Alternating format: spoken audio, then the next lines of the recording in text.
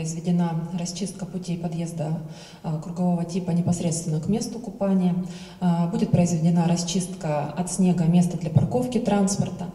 А, в местах спуска к купели будет осуществлена подсыпка для уменьшения скольжения, произведена блокировка возможных мест съезда к месту купания для предотвращения проезда транспорта.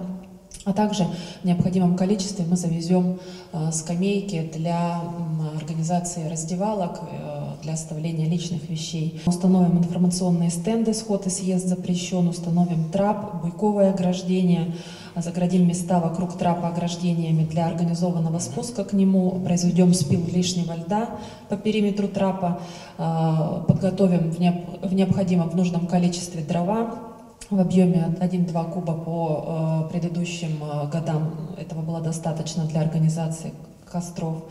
И э, завезем сено под э, скамейки для того, чтобы было более комфортно э, нашим горожанам использовать купель.